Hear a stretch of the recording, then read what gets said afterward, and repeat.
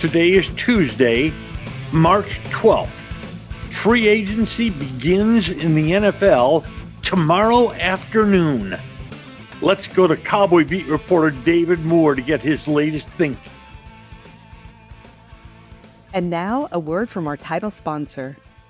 Are all financial advisors fiduciaries? Fewer than you think. Not knowing could reduce your lifestyle. Hi, I'm Mitch Kramer, founder and CEO of Fluent Financial. A fiduciary is a regulatory term to reduce conflicts of interest in wealth management. A fiduciary always works in your best interest. A non fiduciary advisor might put their compensation or company ahead of yours. At Fluent Financial, we are certified financial planners acting as fiduciary advisors. To learn more, go to fluentfinancial.com or Fluent Financial's YouTube channel. Introducing Star Power Smart Home Solutions, where cutting edge technology meets effortless living.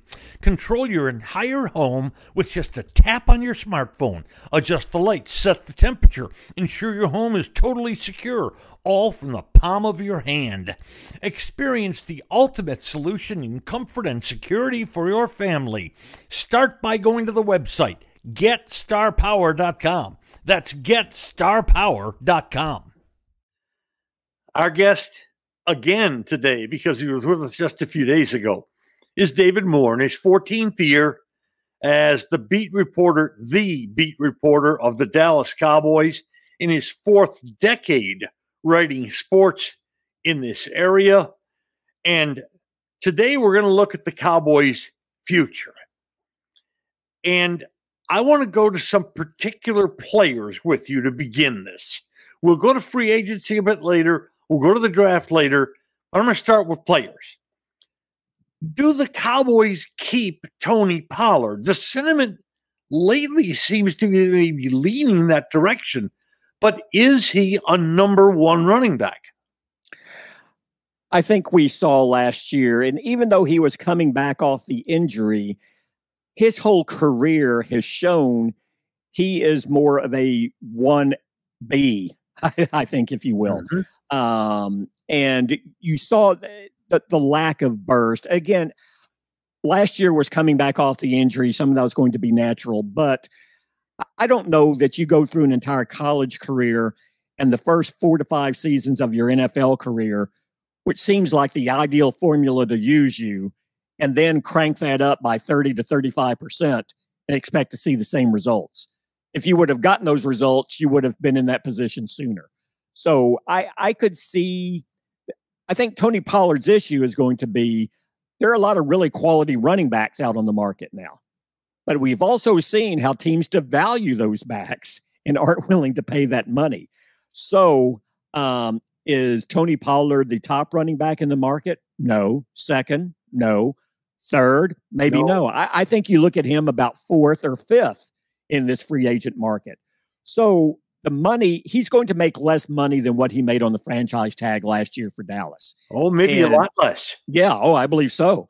And then the question is, I think he would be amenable to coming back here. Uh, I don't think Tony Pollard is the sort of guy who is like, uh, and maybe to his detriment. Oh, I've got to get all I can in this contract. It doesn't matter where I go. This is my last shot to get the big money. Um, he doesn't seem as motivated by that as some other players are at this stage of his career. I'm not saying he should leave money on the table, but I'm saying there's a chance. But if he comes back, it would be a more equal division of power at the running back position than it was last year. Is Tyron Smith's cowboy career over? I believe it is. Um, and, and I think there are a lot of factors here. I know everyone points to last season, and rightfully so. Uh, played 13 games. It's like he found the fountain of youth. Uh, his performance level was very high. Uh, played in the most games he has in, in a while. But what the Cowboys wrestle with here is was that the aberration, or is that season repeatable at this age, at this stage of his career? Mm-hmm based on his injury history. Now, we just talked about he played 13 games last season at a very high level. Mike McCarthy's been the head coach of this team for 67 regular season games.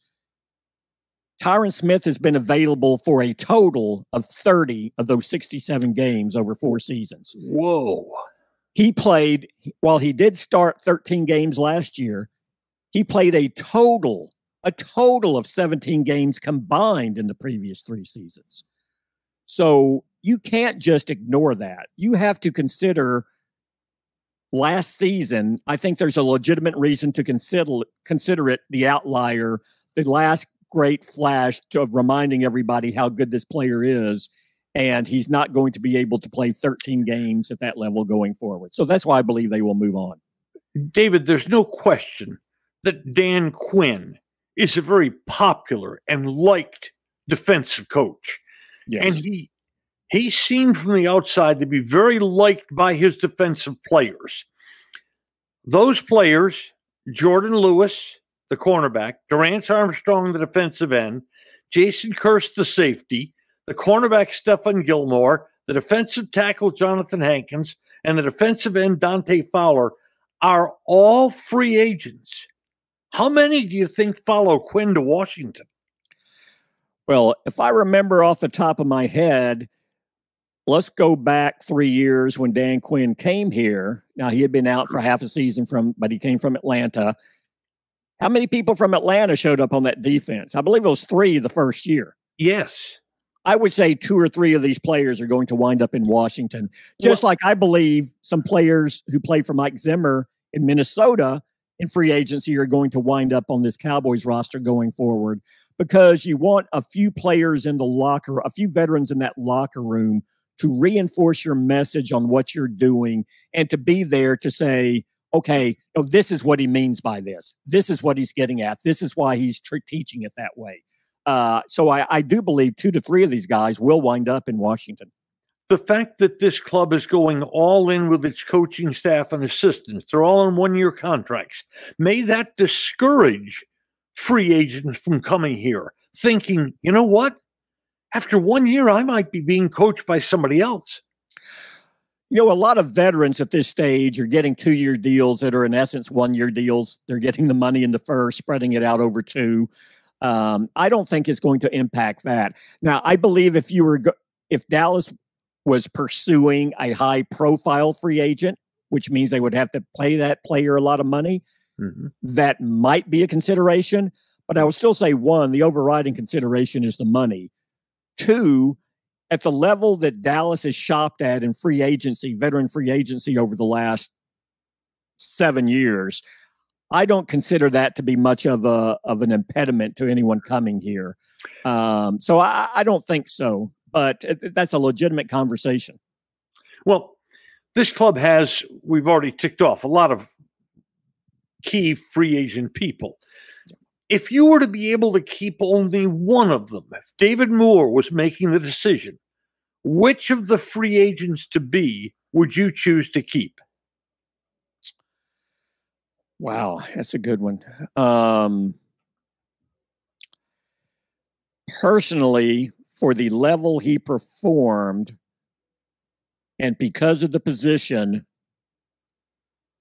I would say Stephon Gilmore because I think even at his age, um, what, what position would they have been in last year after losing Trevon Diggs oh. early? Now, again, I know Duran, DaRon Bland came up, and that's and and I don't believe Gilmore will be here because you're going to start with you know what you pay Trevon Diggs, and he's coming back, and DaRon Bland uh, is the future. They're going to go young there, and and Gilmore now is in a position of well, he's the third corner, and and you know how do you rotate it in?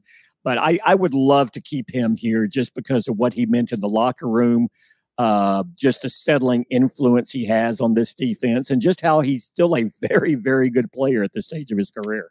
When um, when people who do this for a living look back and graded the Cowboys draft last year, it was graded the least impactful rookie class in the entire NFL. This year, the Cowboys have less draft choices.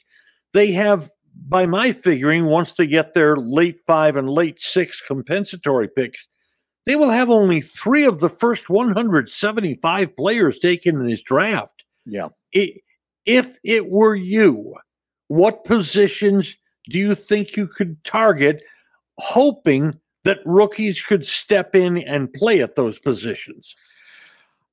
The way this draft breaks down early and what their needs are, and we're talking the the you know the first two days, like you say, they're not they don't have picks there in the fourth and fifth. They use those for uh, you know they got Gilmore and they got Brandin Cooks last year, and those those are weights. So um, offensive line, and I and I say that tackle or center because I also believe that that Tyler Biadasz will be out of their price range and will wind up somewhere else as well. So I think you're looking at him and Tyron Smith replacing both in that offensive line.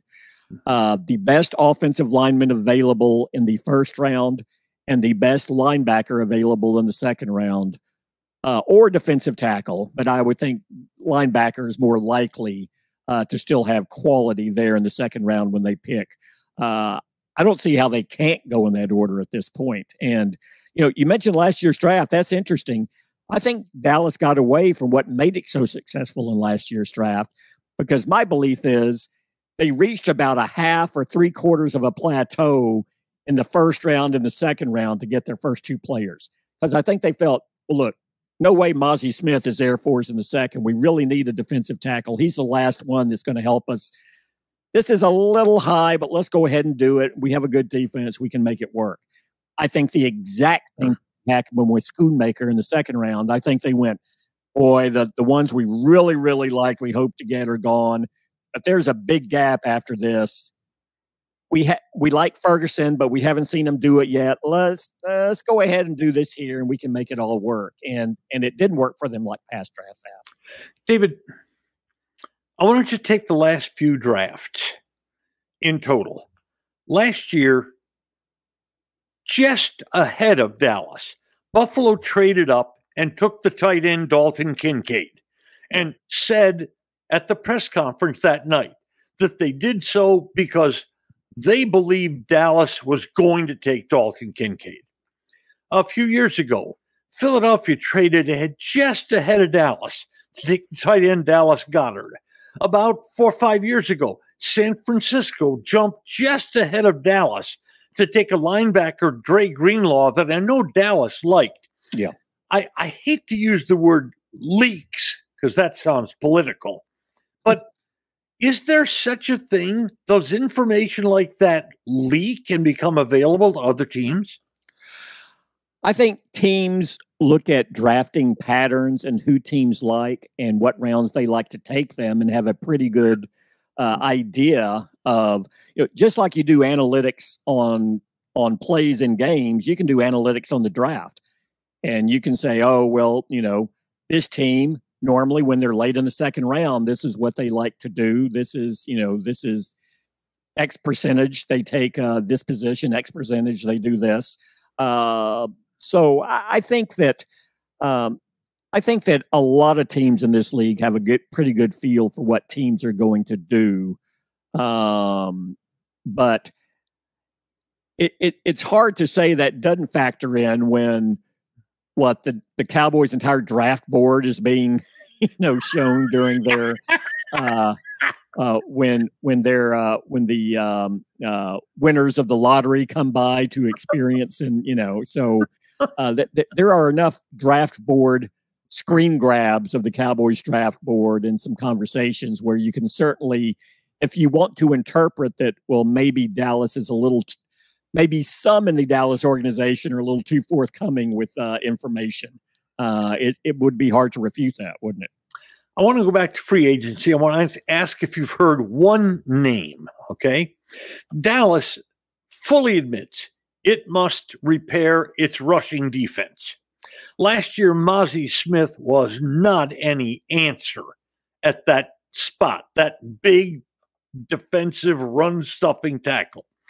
In free agency, have you heard the name of Grover Stewart, the Indianapolis defensive tackle, who may not be a three down lineman, but he is a monster run stuffer? Well, and he missed uh, what, six games, I believe, last year with his suspension. Yes. Um, but yeah, uh, you know, he's a name you hear.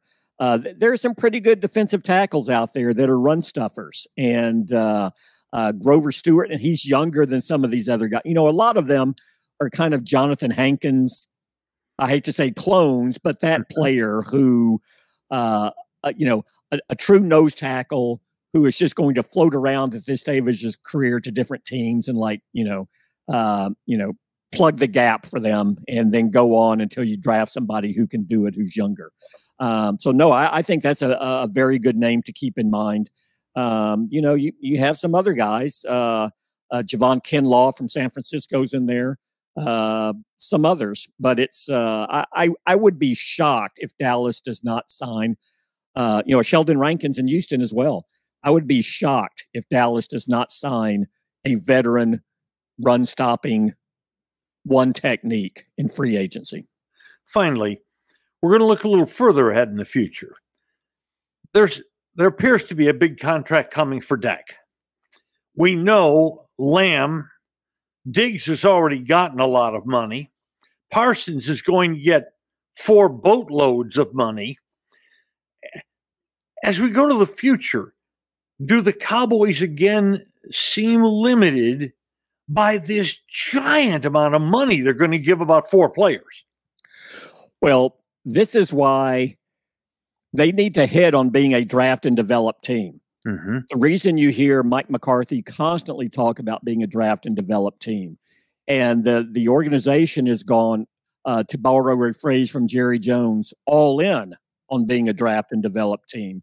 Sometimes to the frustration of the fan base because they don't look to make deals for veterans outside, um, is because if you acknowledge you're going to have to pay an inordinate amount of your cap to four to five star players, players, very good players who are about to earn money going into their second contract, you need to be able to let go because you have someone else right behind them who can step into that role. Mm-hmm. And I'll give you an example. That's what's been happening in the offensive line in recent years. That's why I believe Tyler Biadasz, they will let him go.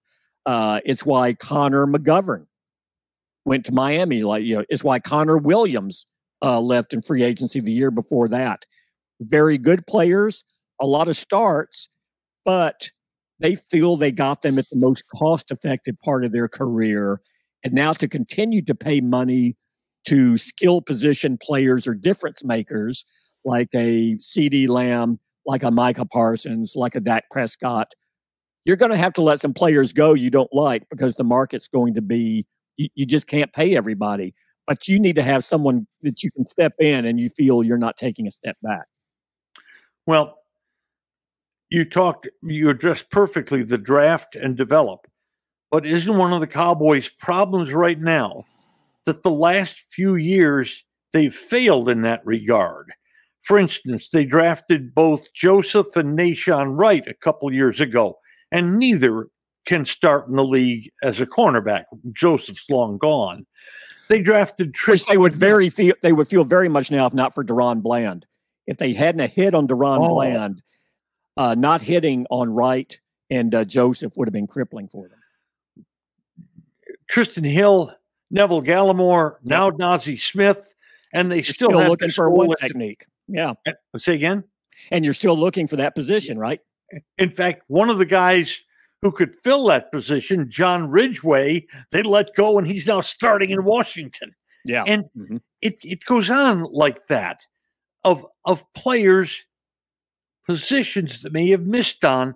And with that kind of high salary for a handful of players, those type of misses become much more critical to this team. And with only three picks in the first 175 this year, this is an almost cannot miss draft for the Cowboys. Agree completely. The the the three players, their top three players, are going to have to step in and do something, and they need to get something out of Mazi Smith and Schoonmaker from last year's draft. And to me, the interesting one's going to be Overshown because I think they felt going in that Overshown was the best position to actually make an impact for them last year it was early when he got hurt, but I got the sense they were more excited about him than anyone. And I think he was, you know, a, a di- again a different scheme here. Now, how is he going to fit with Mike Zimmer? He was the ideal uh, bridge player or or move into the future for Jayron Kearse under Dan Quinn's system. Mm-hmm. But just how does Overshown fit into Mike what Mike Zimmer wants to do with his linebackers? And that's going to be interesting to see as well. David, we so appreciate your time. Thank you. I look forward to catching up with you maybe after the draft or maybe some kind of mid free agency. And That'd we'll talk great. more about the Cowboys. Thanks, David. Thanks so much, Norm. Always enjoy it. See you, buddy. Thank you. Today's episode brought to you by Fluent Financial, Retire Sooner, Better Lifestyle, and by Star Power, Love Where You Live. Just Wondering is a production of DSP Media for FanStream Sports. You can find Norm's show along with other great programming at fanstreamsports.com. Thank you for listening to today's episode. If you enjoyed it, hit follow. And every weekday, a fresh new episode of Just Wondering will be delivered right to you. And if you enjoy this podcast, please share it with a friend. Finally, should you have questions or comments, please share them with us by going to X and our address at Norm's Clubhouse. That's just wondering with Norm Hitzges. And every day, I'll be just wondering about something.